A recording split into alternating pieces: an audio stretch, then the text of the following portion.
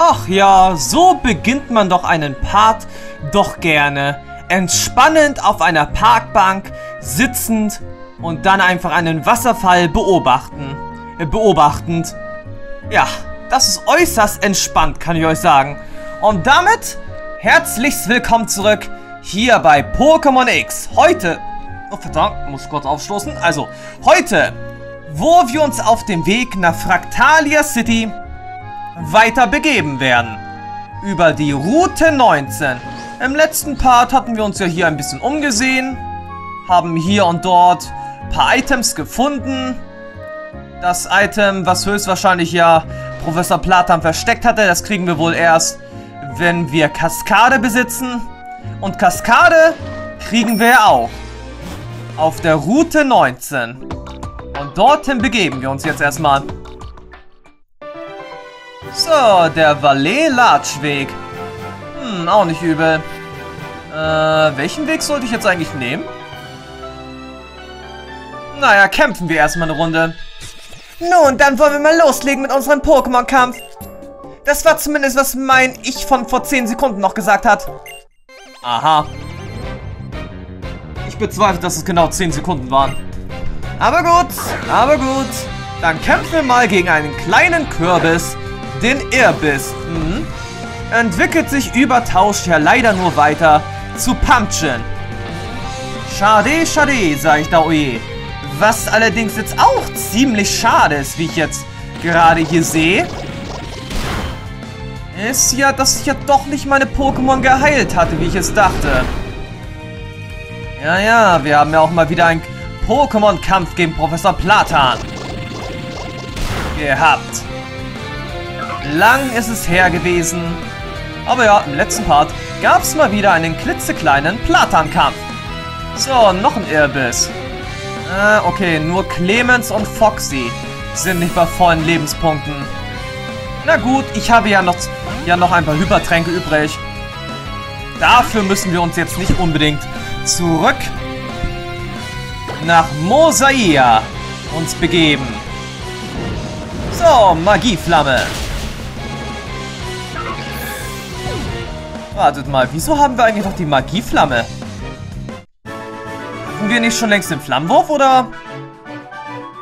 Na, Moment, dafür hatten wir ja den Feuersturm jetzt. Na gut. Na gut, ist ja auch schon eine etwas lange her, wo ich ja Pokémon X gespielt hatte. Okay, Tafelwasser bräuchten wir jetzt nicht. Hypertrank. Oh ja. So, des Weiteren kann ich jetzt ehrlich sagen, dass ich jetzt nicht nur einen Hypertrank brauche, sondern Höchstwahrscheinlich. Hm, eigentlich wohl nix. Oder ich habe das jetzt vergessen gehabt. Naja, auf alle Fälle kann ich jetzt schon mal sagen, dass nach Pokémon X, zwar nicht ganz genau danach, aber nach Pokémon X wird mein nächstes Pokémon Let's Play vor Pokémon Schild dann doch schon Pokémon Alpha Saphir sein. Hm, war mir zwar zuerst nicht allzu sicher gewesen, ob ich das Let's Play schon vor Pokémon Schild bringen sollte.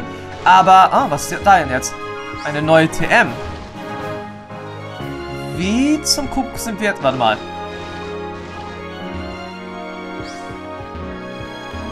Müssen wir... Ah, wir müssen von unten dorthin. Ja, bei diesen Sumpf gibt... Okay, das sieht zwar eher aus wie ein Sumpf, aber trotzdem kann man hier surfen. Ja, was soll man dazu sagen? Random Sky muss jetzt einfach mal kurz in so einer komischen Plörre herumschwimmen. Auch nicht gerade schön. Wir Ranger entlocken den Pokémon ihre geheimsten Kräfte. Wir Ranger entlocken den Pokémon ihre geheimsten Kräfte. Na, arbeitet ihr für Akromas? Hört sich ja fast schon so an. Clara und Cedric. Mit Tauros und Miltan. Bulle und Kuh. Na gut, dann kommt jetzt eben mal Drache und Drache. So werden wir das schon packen. Das drachische Doppel wird jetzt aktiv. Und natürlich gehen wir zuerst ja auf Miltan. Weshalb? Tja, das schaut euch mal. mein Let's Play zu Pokémon hat Gold an. Da wisst ihr es dann. Miltanks sind gefährlicher als sie aussehen. Können zwar, sagt, sehr leckere Milch fabrizieren, die benutzt wird für ja, Milch, Joghurt, Eiscreme, Käse und so weiter und so fort. Aber die sind auch schreckliche Angreifer.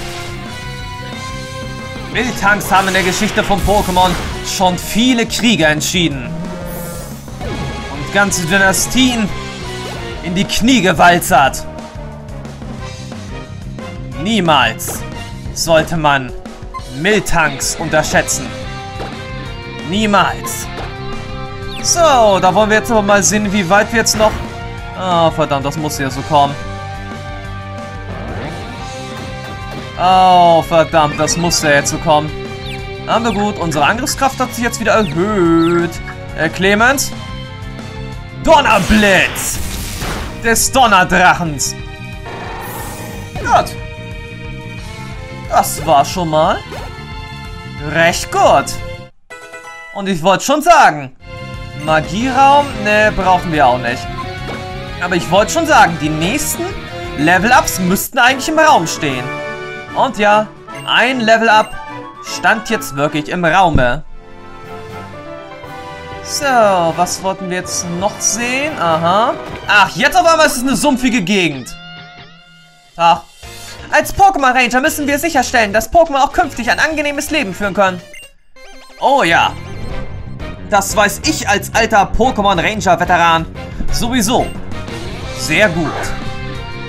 Ich habe ja schon Pokémon Ranger Let's Played, Pokémon Ranger Finsters Valmia und Pokémon Ranger Spuren des Lichts.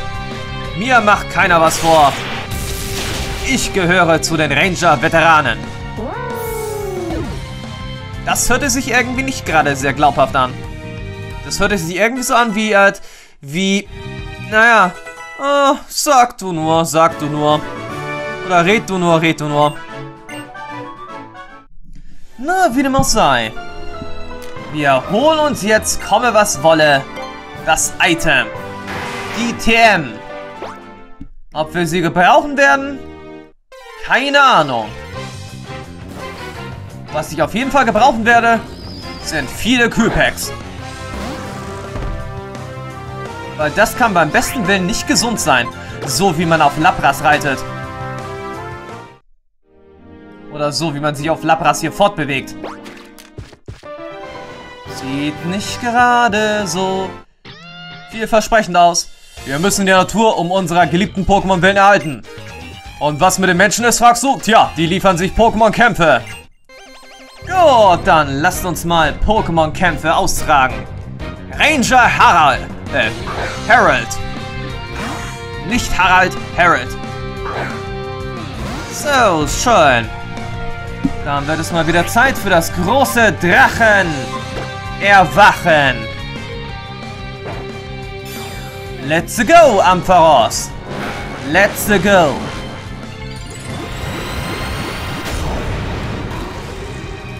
Aber ich denke wirklich mal, aktuell müssten wir nicht jeden einzelnen Trainer mit uns nehmen. Müssten wir nicht jeden bekämpfen? Hm. Ja, wir müssen eigentlich wirklich nicht jeden bekämpfen. Das ist jetzt aktuell wirklich nicht nötig, wie ich finde. Unsere Pokémon an sich leveln er sagt ja auch sehr gut. Auch groß, nicht gerade, naja, durch unser Zutun muss ich sagen, aber hey! Ist doch auch nicht übel, wenn unsere Pokémon sich einfach, na, weiter aufpowern, wo wir überhaupt nicht sie trainieren. Ah, na klar, Blizzard. Jo, sehr effektiv. Aber was soll's? Dieses Siberio, dieser Knut, ist dann jetzt auch bezwungen. Das Wort Pokémon-Trainer lässt sich in die Sinn Sinneinheiten Pokémon und Menschen legen. Aha. Na, ist doch egal. Ich bin jetzt bloß hierher gekommen wegen meiner TM. Die TM Matschbombe. Normalerweise eine ziemlich gute TM. Hm, aber für dieses Let's Play habe ich eigentlich ja kein Gift-Pokémon ja dabei. Okay, und wir schauen uns jetzt nochmal kurz hier mal ein bisschen um. Was das Item dort unten da ist. Und hier oben. Ah, Pion Draghi. Ja, du könntest auf alle Fälle eine Technik wie Matschbombe einsetzen. Mir gefällt es allerdings jetzt überhaupt nicht, dass wir eben nicht fliehen konnten. Ne, das war nicht gut. Na komm schon. AP Plus. Ja, für den... Für später kann man das Ganze noch sehr gut gebrauchen. So, und was ist jetzt hier los? Okay, erst einmal eine normale Stärke gleich.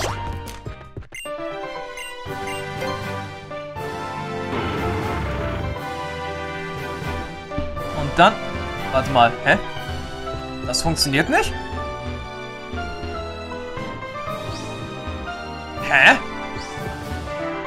Habe ich hier was übersehen, oder was? In der Tat habe ich was übersehen, einen Stein.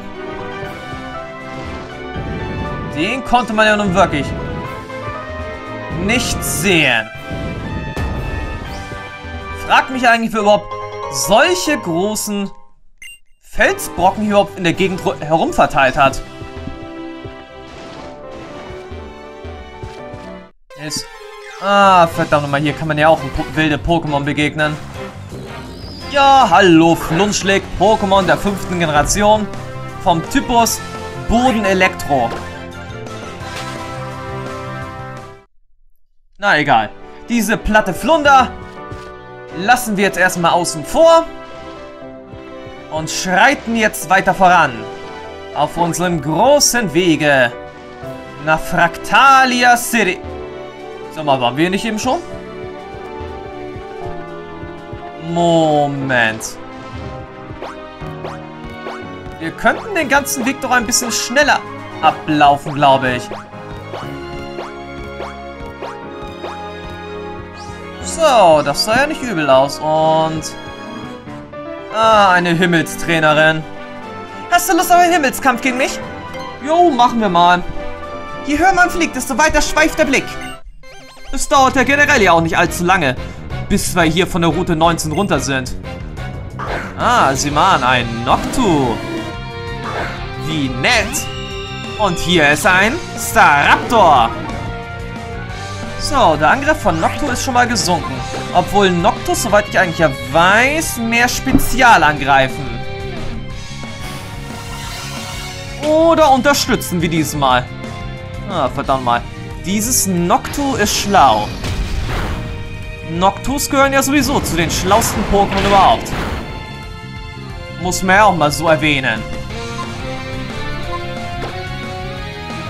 Nur Metagross ist noch schlauer. Und die sind außerdem auch noch hinterhältig mit Hypnose.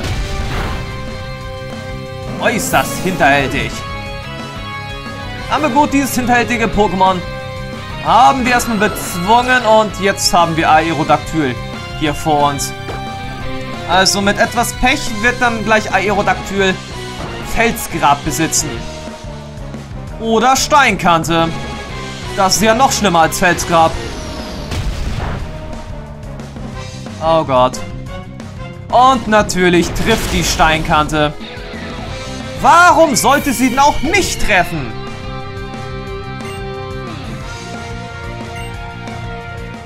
Und vor allem, wieso eigentlich funktioniert eine Steinkante in der Luft?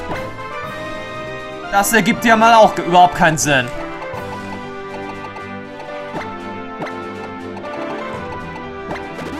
So, hab jetzt erstmal Top-Beleber eingesetzt. Für Exterminator. Des Weiteren werde ich dann gleich doch mal, wie ich jetzt hier aktuell hier sehe, während ich meine Pokémon heile, Random Sky mal wieder auf den ersten Platz tun. Ach ja, Game Dragon habe ich auch mal kurz geheilt. Weil aus irgendeinem Grund ist ist Random Sky nur auf Level 55. Eigenartig. Naja, aktuell macht das so überhaupt nichts aus. Da unsere Gegner, abgesehen ja von der Himmelstrainerin hier, sehr starke Luschen sind. Ey, ah, verdammt mal, falsche Richtung. Na gut, da muss sie eben ein kleines Mädchen bekämpfen. Die Feen-Pokémon ohne Gnade benutzt. Die Träumerin Corinna. Mit ihrem Pantimos. Horst. Okay, dann eben mit ihrer... Äh, mit ihrer Pantimos Paula. Oh, wir sind aber auch noch sehr gut schnell unterwegs. Und was jetzt Trickbetrug gewesen? Äh, warte mal, Wellenrauch? Hey, übergib mir gleich sofort wieder meinen Wellenrauch. Der hat viel Geld gekostet. Oh no! In der Tat, Pantimos. Der Wellenrauch hat viel Geld gekostet. Ah, und jetzt will sie mir es eins mit Az Azumarell auswischen? Nicht mit mir! Ich besitze Donnerblitz! Im dreifache Ausführung, Team.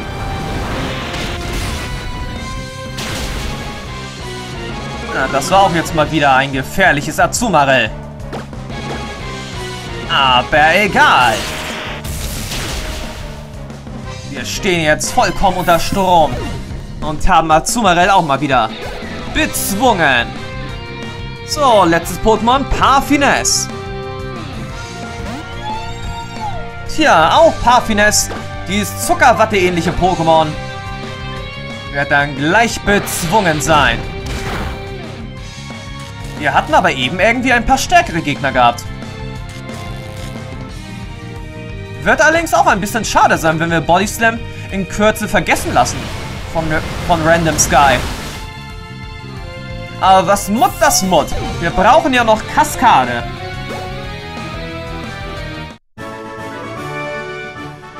Ich sehe es deutlich vor mir. Das duftende Blütenmeer jenseits des Flusses.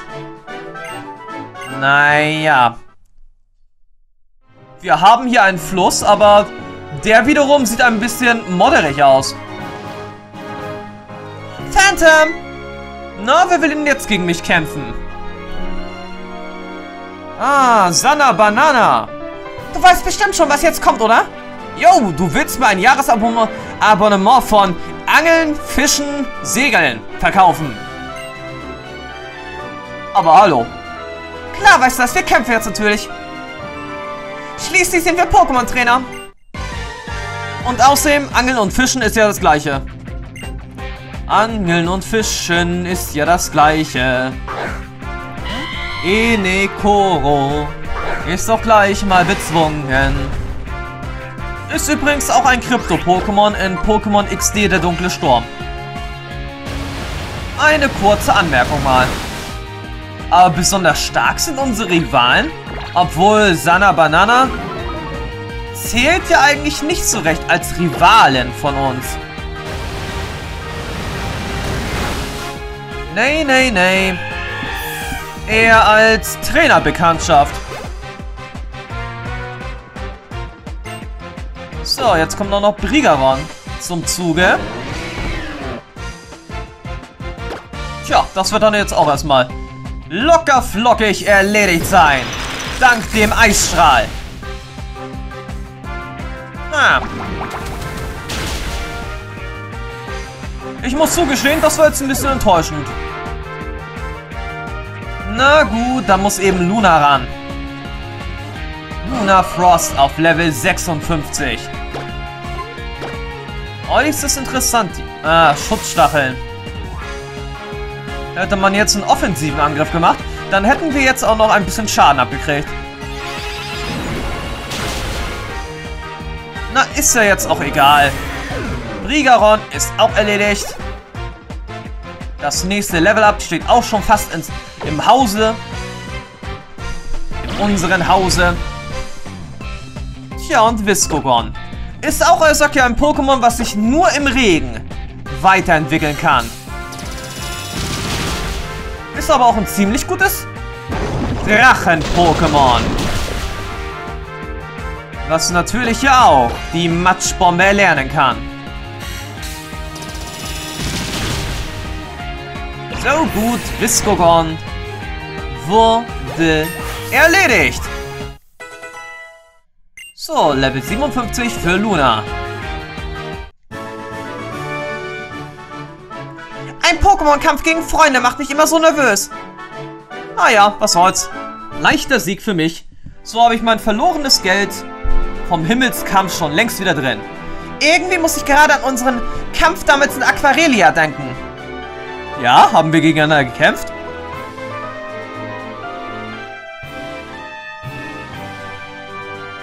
Ach ja, ja, ja, ja, ja.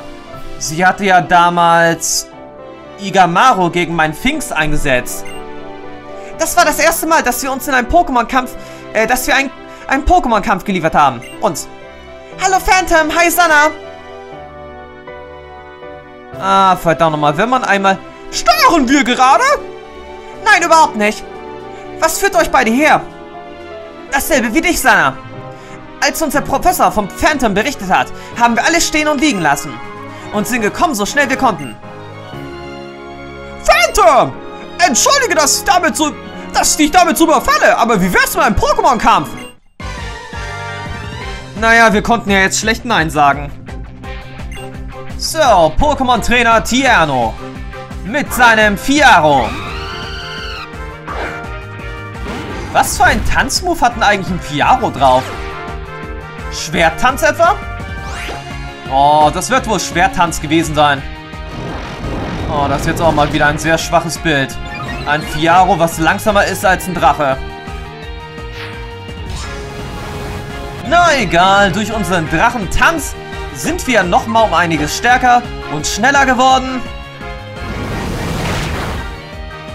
So erledigen, erledigen wir Tierno schneller als Sanna. Schön. Einfach genial. Level 58 steht also jetzt auch mal wieder in unserem Hause drinne. So, Krebutak. Oh, ich kann mir noch gut erinnern, wie mich dieses Krebscore sehr genervt hatte und ein paar meiner Pokémon auch erledigt hatte. Es war, glaube ich, ja Trassler gewesen. Die Luna. Ja, wer sollte es eigentlich auch sonst gewesen sein? Wenn man bedenke, dass man zur damaligen Zeit ja bloß zwei richtige Teammitglieder hatte. Foxy F und Luna Frost. Game Dragon kam ja erst weit später zu unser Team. Oh, Foxy ist schon Level 59. Clemens ebenfalls. Exterminator auch. Ich muss schon sagen, liebe Leute von heute. Ich muss schon sagen, wir wechseln mal lieber unser Pokémon aus. So. Yo, Foxy. Eine Magieflamme. Obwohl, nee, eine, Psycho eine Psychokinese. Das reicht ja vollkommen aus, um Roserade zu besiegen. Aber ja, großartig trainieren muss man in diesem Spiel.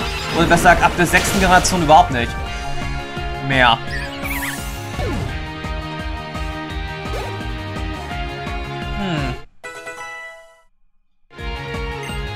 So, Guillotine.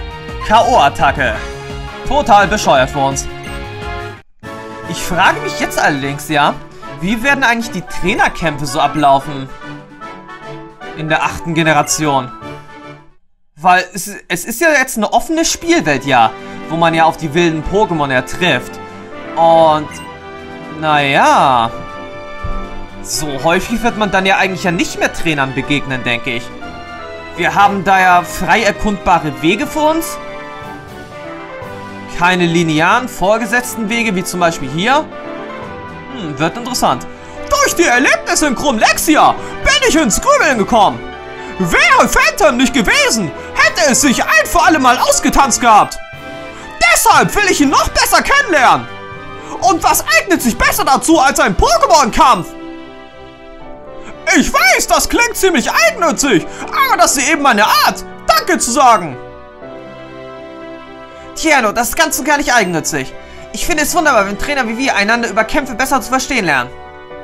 Aber zuallererst sollten wir deine Pokémon wieder aufpäppeln. Und meine. Und jetzt noch dein Team, Phantom. Danke sehr. wo wir schon mal dabei sind, ich will dich auch herausfordern. Diesmal aber nicht zu einem Pokédex-Vergleich, sondern zu einem schönen Pokémon-Kampf. Jetzt kommt also auch noch Trovato Tomato zum Einsatz. Mit seinem Raichu. Tja, was soll ich dazu jetzt großartiges anderes sagen? Wir holen jetzt mal ein anderes Pokémon rein. Hm, ja, Luna. Lunas Verte Spezialverteidigung ist ja sowieso sehr hoch. Das juckt ihr jetzt überhaupt nicht. Dieser Angriff. Dieser Donnerblitz. Tja, mehr als schwach. Die Psychokinese allerdings, die ist nun mehr als stark. Hm, interessant. Oh, Paralyse. Oh, oh, oh. Die Paralyse. Na, egal. Wenn wir jetzt auf alle Fälle Glück haben... Oh nein, wir haben natürlich kein Glück. Ist ja auch mal wieder typisches Phantom Heart Glück.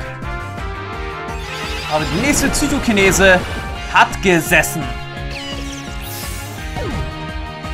So, da müssten wir allerdings ja gleich wirklich hier in Fractalia City angekommen sein. Ah, jetzt kommt auch noch Florges hier. Also gut, Florges, Florges, Florges. Hat ja eigentlich auch eine gute Spezialverteidigung. Hätten wir jetzt allerdings schon eine Kaskade in unserem Moveset drin. Ja. Dann wäre der Kampf noch um einiges einfacher jetzt gewesen.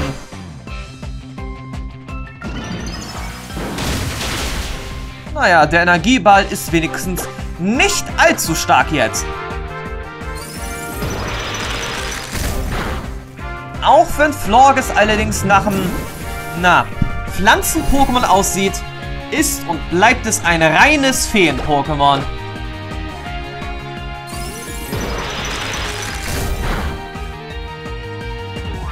Menschenskinder seid.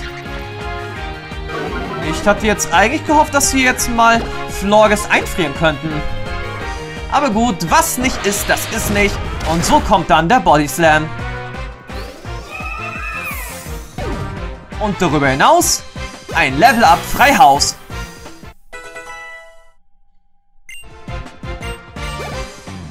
Gott. Läuft mal wieder ziemlich gut bei uns. Ah, verdammt mal verklickt. Jetzt habe ich mich mal wieder verklickt.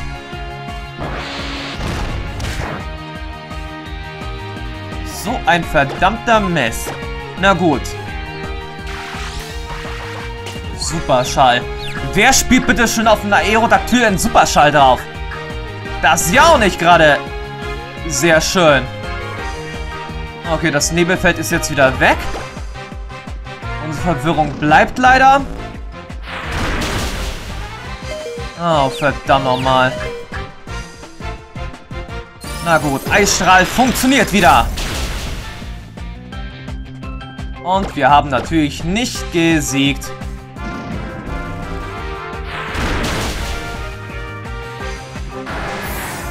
Hätte natürlich ein bisschen anders jetzt laufen können. Hätte, hätte... Fahrradkette. Na gut, Exterminator. Hier hast du jetzt erst einmal deine gepflegte Rache. Gegenüber das Aerodactyl von vorhin. Okay, es ist zwar nicht das gleiche, aber Rache bleibt Rache. In diesem Falle. Ich habe dich wohl unterschätzt. Yo. Jetzt bitte mal meine Pokémon wieder heilen. Ich habe noch so viel zu lernen. Oder bin ich vielleicht einfach zu schwach? Ehrliche Meinung? Ein bisschen schwach bist du. Du machst dir Sorgen, dass du so schwach warst? Du bist ganz schön ehrgeizig geworden, Trovato. Ich glaube, diese Reise hat uns alle verändert. Vielleicht verdanken wir das aber auch unserem Pokémon, unserer Freundschaft. Apropos, wo steckt eigentlich Serena? Die trainiert gerade fleißig mit Mr. Mega. Sie meinte, wahre Freunde verstehen einander, selbst wenn sie nicht immer am selben Ort sind. Wahre Worte. Wie dem auch sei, wir haben noch etwas zu erledigen. Bis bald. Kaskade? Was mal meine Kaskade? Ich bin so froh, dass ich diese Reise gemacht habe. Sie hat mich an viele Orte geführt und in euch habe ich ganz tolle Freunde gefunden. Zudem bin ich einer Menge interessanter Menschen begegnet und habe viel erlebt, woran ich auch später noch gerne zurückdenken werde. Danke für alles, Igamaro. Hier, Phantom, das von uns. Kaskade! Wunderbar! Damit kannst du Kaskade im Kampf einsetzen, selbst wenn du noch nicht im Besitz des Arena-Ordens von Fractalia City bist. Ich muss los, bis bald! Bis bald! Oh, wie ist das schön. Jetzt wird Random Sky noch mal um einiges stärker werden. Dank der Kaskade.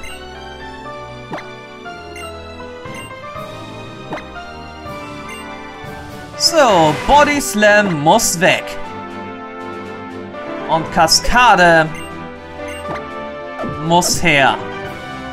Schön. Allerdings... Wie lang dauert es denn jetzt? Okay, es dauert nicht mal zu lange. Aber leider hat jetzt jemand im Haus angefangen, rumzuschleifen mal wieder. Ist ja schon lange nicht mehr hier geschehen und... Oh, sieh mal an, wir sind schon in Fractalia City gleich. Äh, und hier sind Zwillinge. Frag nicht warum, doch ich erinnere mich nur an Kämpfe, die ich verloren habe. Aha, und du erinnerst dich an Kämpfe, die du nur gewonnen hast? Der Schlüssel zum Ver Erfolg liegt darin, Frost und Bitterkeit einer Niederlage in den Ansporn zum Sieg umzuwandeln. Menschenskill auch mal, was ist das jetzt hier laut? Ich weiß nicht, ob, ihr das hier, ob ihr das jetzt nur mitkriegt. Aber es ist jetzt verdammt laut hier geworden. Aber gut, jetzt erstmal rein ins Pokémon Center. Dann erstmal meine Pokémon heilen. Dann werden wir uns mal beeilen. Aber ich bin mir jetzt nicht so ganz sicher, ob wir jetzt den, Are nächsten Are den letzten Arena-Kampf schon machen können. Da bin ich mir wirklich überhaupt nicht sicher. So, jetzt äh, will ich erstmal sehen, was es hier zu kaufen gibt.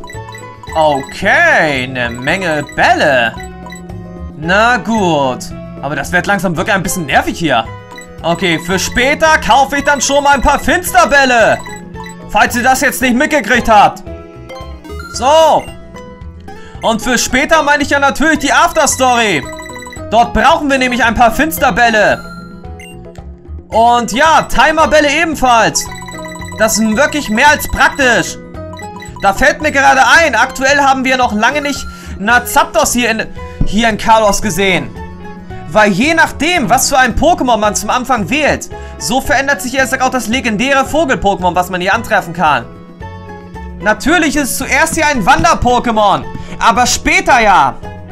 Jo, dann trifft, wenn man es erstmal genügend, äh, häufig genug angetroffen hat in der Wildnis, dann kann man es in der Meerestitanhöhle in der Nähe von Tempera City herausfordern. So, und jetzt sage ich erst einmal Tschüss, bis zum nächsten Mal. Wo wir entweder den Arena-Kampf machen werden oder vielleicht auch noch nicht, weil ich glaube, er war noch nicht da gewesen. Der gute Walter. Okay, Walter hieß er jetzt sicherlich nicht, aber ja, der Arenaleiter hat ein bisschen Ähnlichkeit vom Bartstil her mit Walter aus Malvenfroh City. Okay, eigentlich ja auch nicht. Walter in Malvenfroh hat ja ein Vollbart. Und ja, der Arenaleiter hier, der hat irgendwie, naja, eine andere Art von Bart. Und somit sage ich jetzt erst einmal Tschüss, bis zum nächsten Mal. Sagt euer Phantom Heart. Ciao.